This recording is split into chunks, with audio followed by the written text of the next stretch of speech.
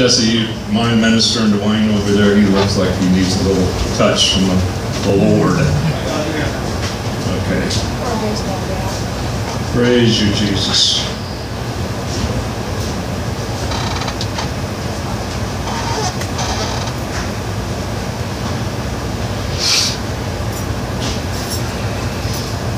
Interesting, 30, I don't know, 30, 40 years, and I have never shared anything on this parable that I'm going to share today. So praise God. God's been saving it up. Amen. Hallelujah. Luke 18, 1 through 8. That's where we're gonna we're gonna go. Uh, let's pray. Father, we love you so much and we thank you for your son Jesus. We thank you, Lord, that uh, you give us uh, the very best you had so that there'd be a way back to you. And so, Father, on this uh, on this day, Lord, we, we we give it to you, Lord. This is the Sabbath, and it's all yours. And Father God, you do with it uh, and with us exactly what you want. Father God, I pray that uh, in the name of Jesus and by the power of the Holy Ghost, that I would share the things that you'd have me share today. And Lord, that uh, folks would be inspired. Uh, God, that we be different when we leave here than, than when we came. We'd be encouraged, Lord, and Father God, that we be about your calling, your business, your purpose, Father. Propel us, Lord Jesus, into your destiny during these times. We know they're serious, Lord, and we do take them serious. So have your way with us in Jesus' name. And everybody said, Amen. Amen and amen. Luke 18, 1 through 8, I'm going to read uh, here. And, and, just for the sake of a word or two that I really want to use, I, I looked at some different uh, translations and some different things. And, you know, I usually use the New King James or the King James. But in this uh, rare occasion, I'm going to use the, the NIV. So just follow along with me here. Um, you got your own Bible, you can, or you just look at the screen. Then Jesus told his disciples a parable to show them that they should always pray and not give up. Everybody say, don't give up. Don't give up. He said in a, in a certain town, now before, I think before I go any further here, I should probably make a, a little sidebar or notation that uh, we, he just got through reading some really tremendous stuff about uh, what's going to happen in his return. And, and they're like in, in shock, and he knows that a shock wave has went out, and all of a sudden he's going to have to, comfort these disciples and tell them, along with us, some things that, that we need to continue to do. And so here we go, especially in these times. If you're a, if you're a watcher of the, the world, then you know that it's not just the United States, it's in all kinds of turmoil. It's all around the whole world. So um, just understand that here we are now, and we've been studying Revelations here on Sunday morning. If you're not here, you, you really can get a, get some ideas about what's going on and what's happening and, and things that are relevant to the times here. So it's been really good. Anybody wants to come out, don't forget 9:45 to 10:30, and uh, you can come here. It's, it's uh, you know you don't have to be like you are now. We can social distance then because there are not so many folks here. But what I want to say is that uh, here Jesus has set them up and he's, he's going to give them a teaching here in this parable. And so here we are. Then Jesus told his disciples a parable to show them that they should always pray and not give up. He said in a, in a certain town there was a judge who neither feared God nor cared what people thought. And there was a widow in that town. She kept coming to him with a plea Grant me justice against my adversary. For some time he refused, but finally he said to himself, Even though I don't fear God or care what people think, yet because this widow keeps bothering me, everybody say bothering me. Bothering me. I will see that she gets justice so that she won't eventually come and attack me. And the Lord said, Listen to what the unjust judge says. And will not God bring about justice for his chosen ones who cry out to him day and night? Will he keep putting them off? I tell you, he will see that they get justice and quickly. However, when the Son of Man comes, he will will he find faith on earth? Lord, bless the reading of your your holy word. Now, understand that that uh, here's a woman who has exhausted all of her uh, resolution on on her level. And, and, and, and did you know that when, when folks exhaust um, every resource that they have on their own level, uh, this is where most people quit. This is where most people give up. And, and, uh, and, and so here he is saying, I, I did, uh, and, and, and people usually say something like, I did all that I could and I give up. If God were meant for me to have this, uh, uh, this breakthrough, it would have happened. If God would uh, wanted me to have that house, it would have happened. If God would have wanted me to have that job, it would have happened. But no, no, no, no, no, no, no, not this woman. Not, not this woman. Sometimes you, you, you got to even let the system know something. Do you know that? Sometimes you got to let the system know that, that hey, you've run over everybody else, but guess what? You're not going to run over me. Amen. And, and we're seeing that happen. We're seeing some Christians, my God, finally standing up for some things and some rights and, and some, some belief system that they have. They're not just rolling over and playing dead. And, and that's encouraging to me. I mean, I was encouraged when, uh, uh, what was it, John MacArthur, pastor out there in California. He takes them to court. They shut him down. And, and guess what? They say, you can't sing in church. You, you can't, no, you can't sing. You, you, you, you, you can't even have church if there's over 10 people. Guess what he did? He went ahead, he went before the judge, and just this week the judge said, it's open. You can do what you want to do. Well, you know what? People have finally stood up and said, we need to meet, we need to come together, people need to be ministered to, people need to be loved on, because in this time there's some things happening out there. People are locked up in their house, uh, the, the, suicide rate has went up, and drug addiction has went up. Drug use, everything is just expanding and blowing up in the name of the devil. So anyhow, uh, and, and, sometimes you got to even let the system know. And, and, so Jesus is showing us here how, how to fight. When the, when the wind is against you and all hell is breaking loose, though he slay me, yet I shall trust him. Amen. Amen. So, so God, God is, God is, guess what? God's going to work it out. But we got a part to play. And, and Jesus is saying, you, you better bother me till the breakthrough comes. You better bother me and bother me and bother me till, till the breakthrough comes. Why? If you don't know it right now, you need to know that we are in a fight right now. We, we are in a fight in this country, and, and, and, and I see it. I see it. It's going to escalate. And if you're sitting there thinking that, that it'll never, you know, well, you know what? Things are inside, outside, upside down. Things are never going to happen for me. Uh, it, it, it, it's never. I'm at a disadvantage. And there are a lot of folks who are at a disadvantage right now. There's no doubt about that. But, but I've got news for you that have that attitude. Being a disadvantage can be an advantage. And so, so let me let me say that disadvantaged people know what it's like to have to fight for a breakthrough. Right. Has anybody ever here had to fight for a breakthrough? Has anybody here had, had to give it all they got for a breakthrough? I almost want to, you know what? I, and, and, here's her here's her enemies are out there and she's she's battling against them, whatever, looking for justice. And I almost want to call my enemies and I want to say thank you. I want to thank you for coming against me. I want to thank you for giving it all you got. Because if I would have got the breakthrough from you, then I would have had to thank you. But guess what? You didn't give me the breakthrough. God gave me the breakthrough. Amen. He's the only one that I have to thank. Amen. He's the only one that I have to say, thank yeah. you, Lord. So, so now, now I got, I got nobody to thank but God. And, and so you, you have, you have to be tenacious. You, you have to, you, you, you just can't give up. You almost have to be uh, ruthless, and, and, so to speak.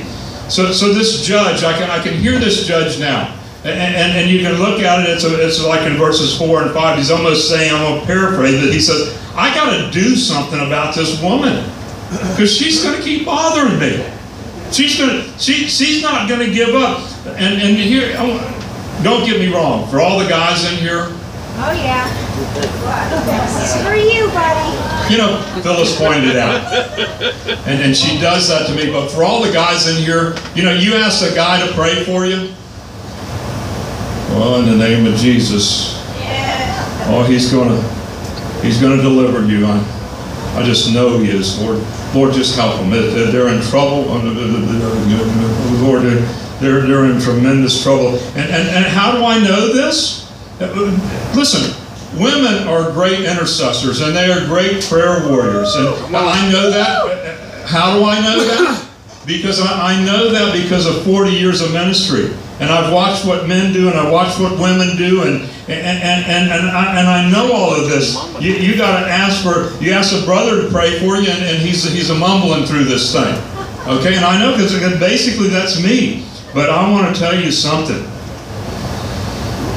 And, and, and, if you don't get it from that brother, you know, I, I apologize, but you, don't get it because that's all you're going to get. But if you ask a real woman of faith to pray for you, you, you, ask, you ask a real woman of faith to pray for you, and she will walk the floor. She will shake her head, my God. She will. The devil is a liar. I can hear my mama right now. The devil is a liar. You can't have my child. Get out of my house. Turn loose of my daughter. I plead the blood of Jesus. She will cry and she will shake her finger and she will give it every. She will clap her hands over you. And, and my mama, you know, I don't, I don't have here, but I'll tell you what, she, she would bring her prayer cloth out, and Pia can tell you, Leland can tell you, she'll wrap you in that prayer cloth, and I'll tell you what, she'll read every corner of that thing, every healing scripture on that. She did it with Wayne King time, and he, he loved to come over, not, not because it had anything going on with my mama,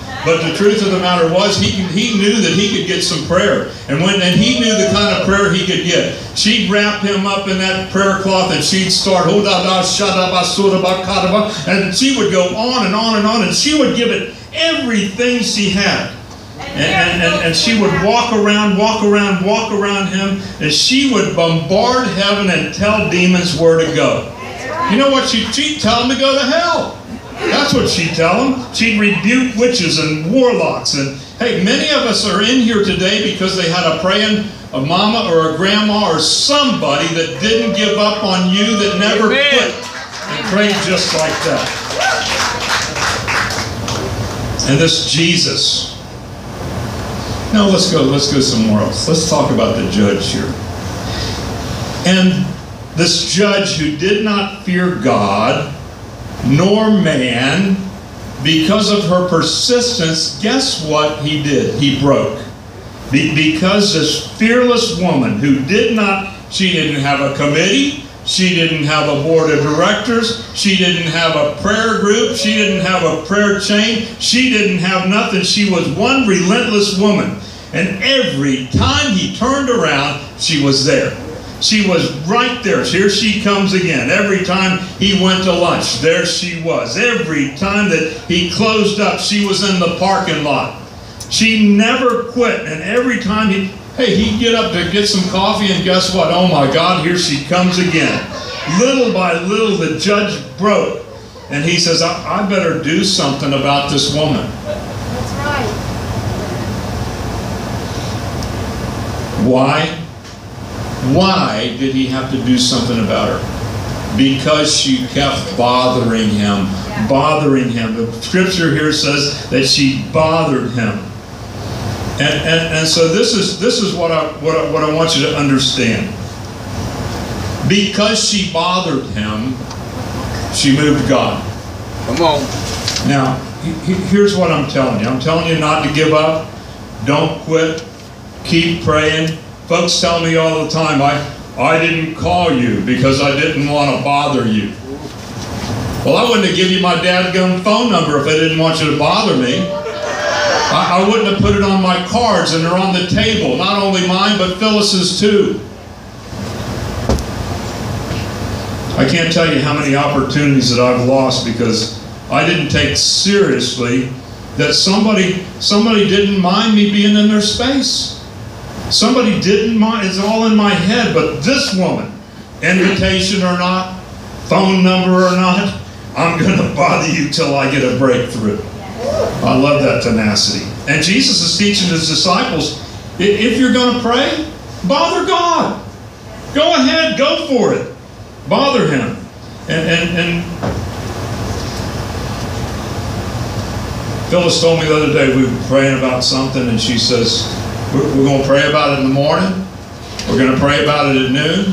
We're going to pray, pray about it at night. We're going to pray about it while we're driving. And guess what happened?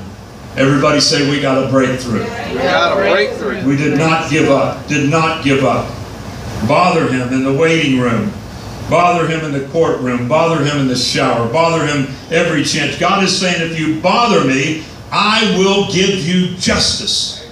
My God. How cool is that? You, you can't get justice uh, without persistence. I, I, I don't know what you're fighting.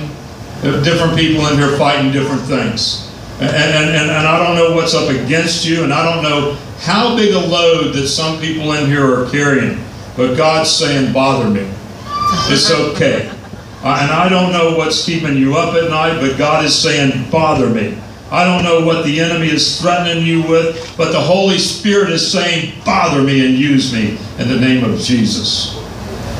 So God says, cast all your cares on me. Cast it. Why? Because I care for you. Cast all your cares on me. Throw it at my feet. My God, quit being so polite. You're in a fight. We're, we're in a battle. We're in a battle for not only our lives, but our children's and our grandchildren's and everybody that, that's going to follow us along here in these generations. And if you bother him, he will deliver you. He will bring you out. He will make a way where there seems like there is no way. He will open a door for you. Bother him.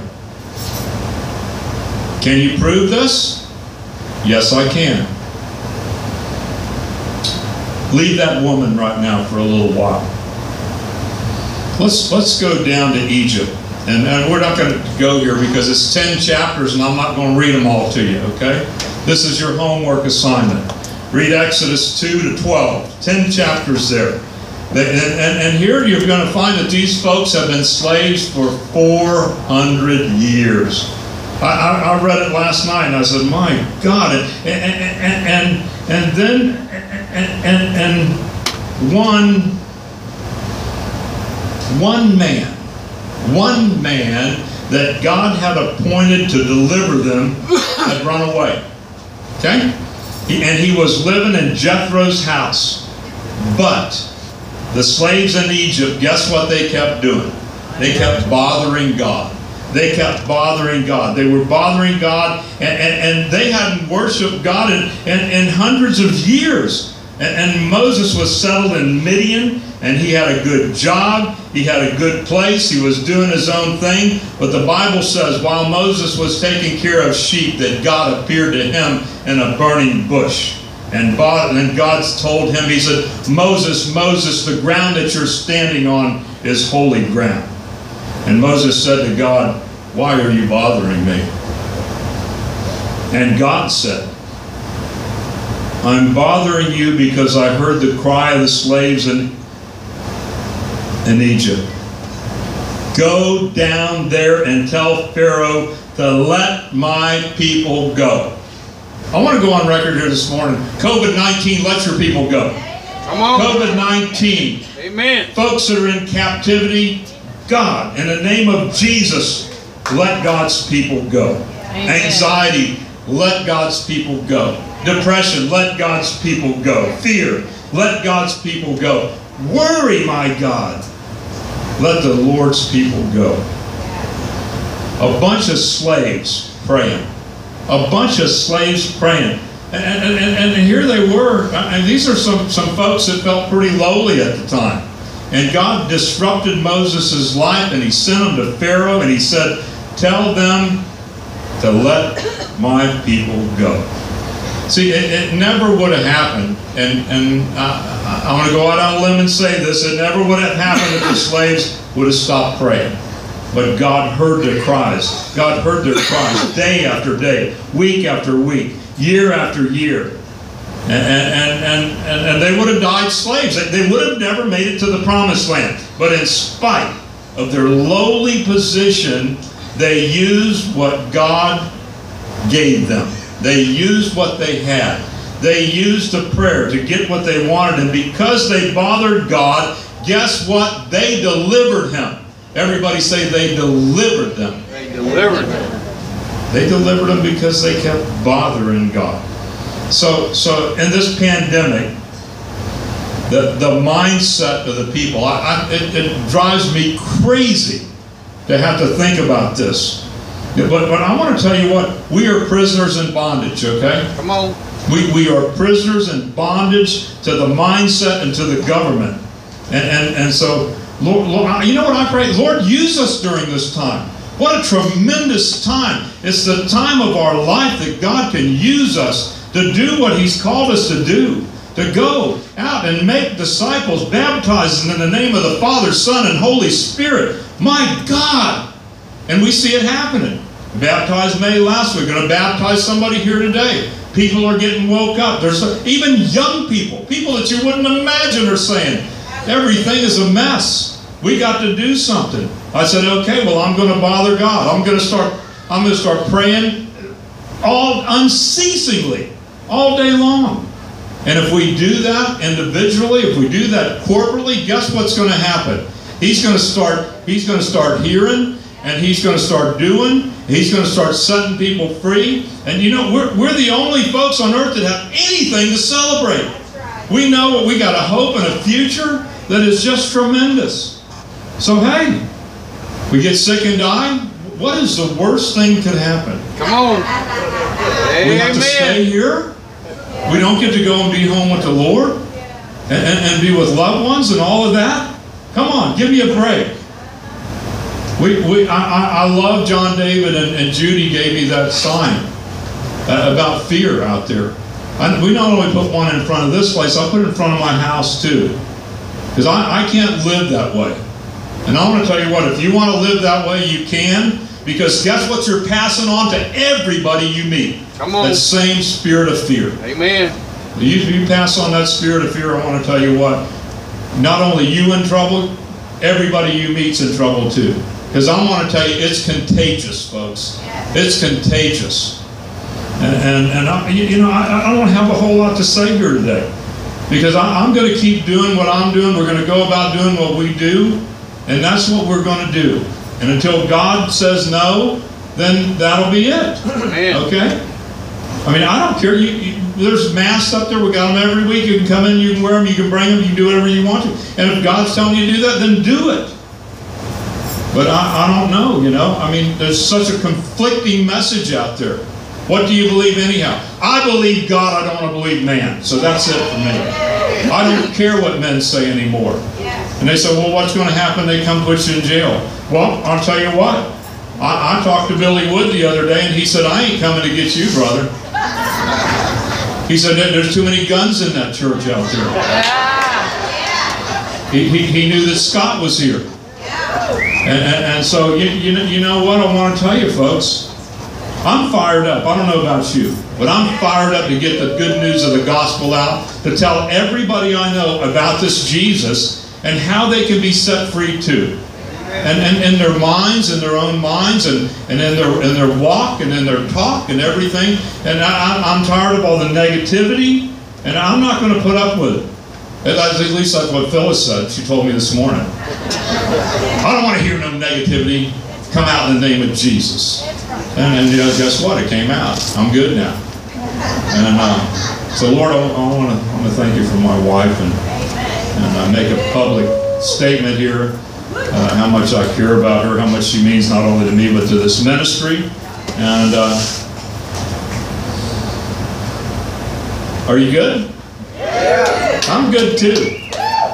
I want to hear something up from up here. I want to hear something, something encouraging, something that, that and you know, I'll tell you, Jace was fired up today, and and uh, you know, we, we want to continue to pray for for Robin um, Friesen. She's coming home with Angel there at Mike and Darlene's church today in, in Mineola, Texas.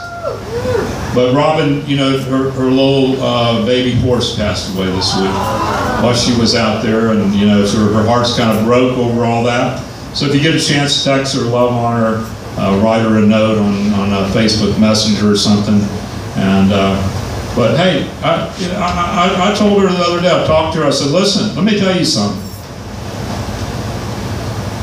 The enemy's not gonna have a place in this. Okay?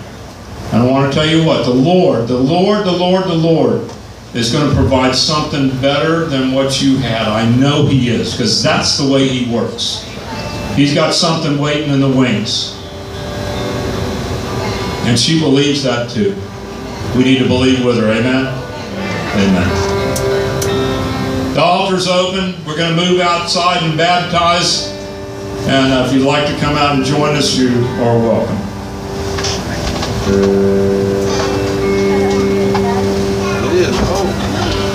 come to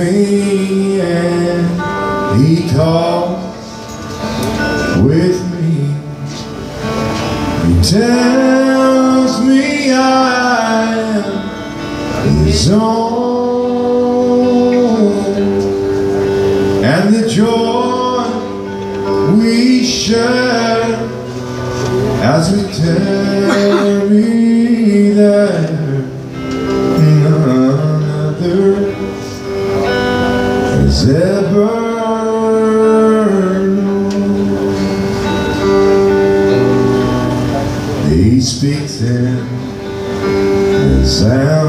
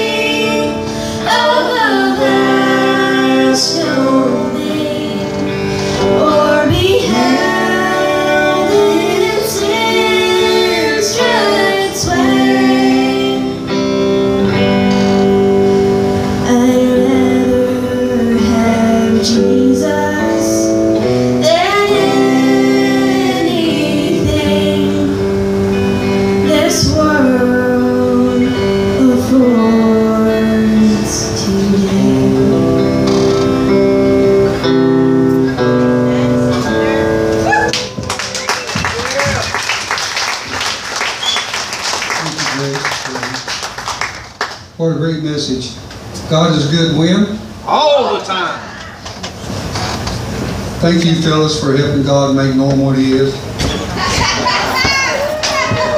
I'm not gonna try to, you know, I feel so inadequate when he calls on me to pray because he's, that's just a tremendous job. What a wonderful message that we all needed today.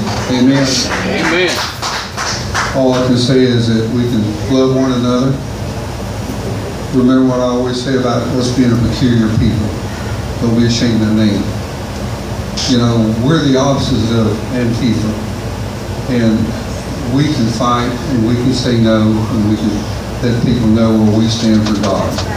Norman's give us a um, challenge here today. Let's take it. Let's don't forget about it. Let's keep it in our hearts. And he's absolutely right about his mom. I think about it every week. And uh, uh, he's absolutely right about women praying. I was raised by a grandmother praying. Let us pray. Father, we thank you for this opportunity that we may gather together. Whether we have to fight for this opportunity, Father, it does not matter. We will. We ask God that you would give us strength and wisdom to do and say the things that you would have us do. Father, we ask a special prayer on Norman Phyllis and their family. We ask that you keep them safe and close to you at all times. Our Father, we know that you send us the word and messages through him.